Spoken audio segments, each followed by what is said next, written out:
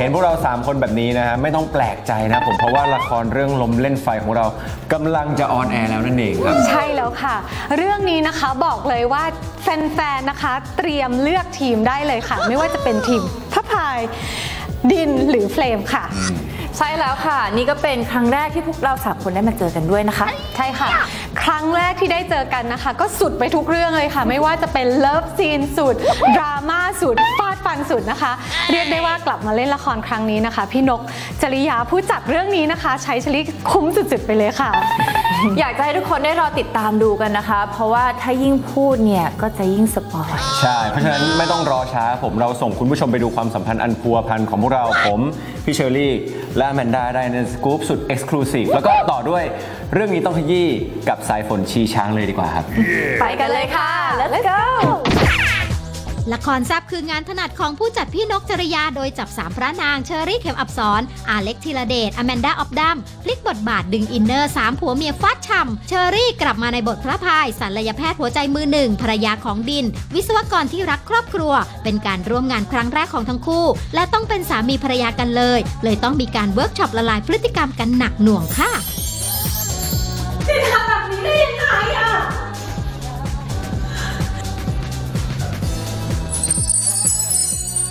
ท้าทายไปหมดเลยนะ จริงๆ เพราะว่ากลับมาเล่นอันเนี้ยมันเป็นดราม่าค่อนข้างสุดสำหรับเชอรี่ในหลาย ๆ อย่างในการที่จะแบบปะทะกันไม่ว่าจะกับอแมนดาหรือว่ากับอาเล็กก็ตามที่มันต้องสาดอารมณ์ใส่กัน ซึ่งตัวเราเองอะเหมือนเราไม่ได้เป็นคนแบบที่ใช้พลังหรืออารมณ์เยอะขนาดนี้ การที่มันจะก้าวข้ามเส้นมาเล่นอะไรอย่างเงี้ยมันก็ค่อนข้างไกลกับคาแรคเตอร์มันก็ต้องแบบพยายามดึงตัวเอง ความท้าทายของเล็กเป็นเรื่องแรกเลยครับผมที่ได้รับบทมีภรรยาแล้วมีลูกแล้ว ความ mature ของคาแรคเตอร์ที่มันต้องโตเป็นผู้ใหญ่ขึ้น แล้วก็ในเรื่องของมีภรรยาอยู่แล้ว แล้วไปนอกใจมีคนอื่น แต่ว่าในขณะเดียวกันก็อยากจะทำให้มันทุกอย่างมันถูกต้อง ก็ค่อนข้างเป็นอะไรที่ยากจะแสดงออกมาให้แบบคุณผู้ชมเห็นว่าดินน่ะมันทำผิดอยู่ก็จริงแต่ลึกๆ แล้วมันอยากทำให้ถูกอยู่ ท้าทายมากๆสำหรับด้าเลยค่ะ มันก็จะมีความหลากหลายทางอารมณ์เหมือนแบบขอร้องให้เขาอยู่อะไรเงี้ยเพราะว่าในชีวิตจริงไม่ได้แบบใช้ความรู้สึกแบบนี้ แล้วก็เป็นจริงๆไม่ได้ขอร้องใครแล้วก็เป็น ที่เหมือนจะดิ่งก็ดิ่งเลย ในเรื่องของ love scene ก็คือ คุณผู้ชมจะเห็นถึงความแตกต่างอย่างแน่นอน ระหว่างดินกับพระพายกับดินกับเฟรมเพราะผมด้วยความที่กับพระพายเนี่ยเราเป็นเหมือนความผูกพันเป็นสามีภรรยา ป๊อปปี้เลิฟตั้งแต่มหาลัอ่ายมันก็จะมีความทนุถนอมอ่อนโยน แต่กับเฟรมเนี่ยก็คือจะตามชื่อเฟรมครับก็จะเป็นความแบบเป็นไฟเป็นความร้อนแรง เป็นสิ่งที่ดินไม่เคยเจอมาก่อน พี่ด้ากับพี่เชอรี่อย่างเงี้ยต้องมีแบบฟาดฟันกันแค่ไหนอยากดูไหมฮะ กับอแมนด้า เนี่ยมี scene ที่ฟาดฟันไม่มากเท่าไหร่นะ แต่ว่าแต่ละ scene ที่ฟาดฟันมันก็จะมีแบบจุด peak ของมันเฟรมอะเขาจะเป็นคนที่วางแผนเยอะอะเหมือนมาไซโคเรา มันเป็นแบบชั้นเชิงอีกแบบหนึ่งอะค่ะ ที่ไม่ใช่แค่ตบตีกันอะไรเงี้ยเคมีอเล็กเชอรี่ sweet มองตารู้ใจ แต่มีเฟรมอแมนดาสาวมั่นเจ้าของแบรนด์เสื้อผ้า และรายการเรียลิตี้แทรกเข้ามาทำให้ความสัมพันธ์ร้อนเป็นไฟ เรื่องนี้อแมนดาตั้งใจหนักมาก แซบตั้งแต่ฉากเปิดตัวเลยค่ะ พูดในมุมผู้ชาย พูดในพูดในมุมดินแล้วกันฮะ พูดในมุมดินคือเราก็แอบโดนเขาอ่อยนิดนึง ใช่ไหมล่ะ ก็เฟรมมันถูกใจ เมาด้วยแอลแอลกอฮอล์ด้วยเอ่อความน้อยเนื้อต่ำใจในภรรยาตัวเองด้วยกับความแซ่บของเอ่อเราความสวยด้วย แซ่บของเขาด้วยอะไรปกติก็เหมือนของตัวเฟรมเองเขาก็เปลี่ยนคู่นอนไปเรื่อย ๆ อยู่แล้ว แล้วสำหรับค่ำคืนนี้เขาก็รู้สึกว่าถูกถูกใจ ถูกจริตกับดิน ก็เลยรู้สึกว่าเออก็อยากได้ก็แค่นั้นเองเลยค่ะ มันเป็น scene ที่ร้อนแรง มันเป็น scene ที่ร้อนแรง scene มากๆ scene หนึ่งเลยครับผมซึ่งก็คงจะมีคนหยุมหัวพวกเราไม่มากก็น้อย ยังมีป๊อปโยเกิร์ตจ้าจ๋าพี่นกฉายร่วมเพิ่มความแซ่บเตรียมแบ่งทีมกับศึกความรักครั้งนี้ในลมเล่นไฟเริ่มพรุ่งนี้ตอนแรกค่ะ เรื่องนี้ต้องขยี้กับสายฝนชีช้าง นอกจากเรื่องราวเข้มข้นความสัมพันธ์ระหว่างสามีภรรยา และมือที่ 3 แล้ว อีกความน่าสนใจของละครลมเล่นไฟ ก็คือนักแสดง ทั้งเชอรี่ อเล็ก และอแมนดาที่ไม่เคยเห็นบทบาทแบบนี้ของพวกเขาในละครเรื่องไหนมาก่อน เรื่องนี้ต้องขยี้ผู้จัดนกจริยา และผู้กำกับโอ๊ตวรวุฒิ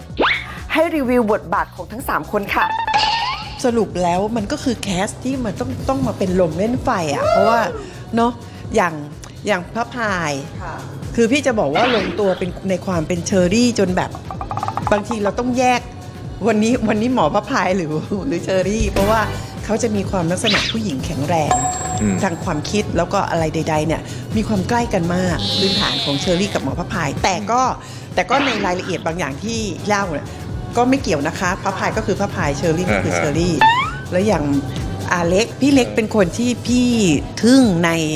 แล้วก็ประทับใจในการทำงานนะคะ เพราะว่า เราเห็นว่าเขาเป็นเด็กแก่นๆเนาะเล็กเนาะเหี้ยวเนาะแต่มาถึงเนี่ยเขามีวิธีการที่จะแบบละลายพฤติกรรม เออแล้วทำงานกันเป็นทีมครับ สามคนเพราะว่า มันเป็นบทที่ยากทุกฉาก เรารู้เลยว่าพี่เล็กตอนมาแรกๆอะเขาเกรงพี่เชอรี่อยู่พอสมควร แล้วเขาก็มีวิธีการของเขาที่จะลดความเกรงพี่ว่า ในด้านของความเป็นคุณพ่อพี่เล็กเป็นได้เลย เป็นได้เลยน่ารักด้วยเขาเขาเป็นแดดดี้ที่ที่น่ารักแล้วก็น่ารักมีเสน่ห์แล้วก็อบอุ่น ด้าล่ะคะพี่ด้านี่โหดมากอืมสำหรับนักแสดงใหม่เนาะกับใช่บทครับนี้ใช่ครับคือเราจะบอกว่าบทตัวของเอ่อเฟรมเนี่ย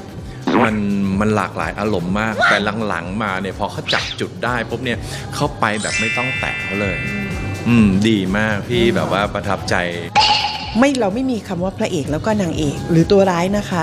เพราะทุกคนเป็นพระเอกนางเอกในชีวิตจริงของตัวเอง แต่ตัวละครเนี่ยมันเทาอะค่ะเป็นมัตัวคืเอกคเป็นตัวเดินเรื่องทั้งทั้งสามตัวละครเลยใช่ใช่นักแสดงใช่ทั้งสามตัวเชอรี่อเล็กอแมนดาแฟนๆจะอยู่ทีมใคร เตรียมเลือกไว้เลยค่ะ เรื่องนี้ต้องขยี้กับสายฝนชีช้าง งไงกันบ้างคะดูสกู๊ปไปแล้ว อย่าลืมรอดูละครเรื่องลมเล่นไฟของพวกเรากันด้วยนะคะ ใช่ค่ะ เรื่องนี้นะคะ รับรองว่าจัดเต็มทุกรสไม่ทำให้แฟนๆผิดหวังแน่นอนค่ะ ใช่ครับ และที่สำคัญนะ อย่าลืมปั่นแฮชแท็กลมเล่นไฟ EP 1 กันเอาให้ติดเทรนด์เลยครับผมสำหรับวันนี้หมดเวลาของพวกเราแล้วนะคะ ด้าพี่อเล็กพี่ลี่ขอมาไปก่อนค่ะลาสวัสดีค่ะม้ามืออะไร